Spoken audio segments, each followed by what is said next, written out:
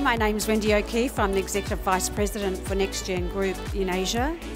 I want to welcome you to the new year, the Year of the Dragon.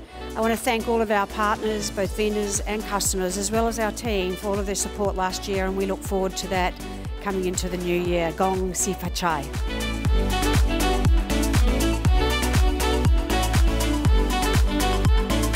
Hi everyone, I'm Kelvin Huan, Managing Director of NextGen Singapore.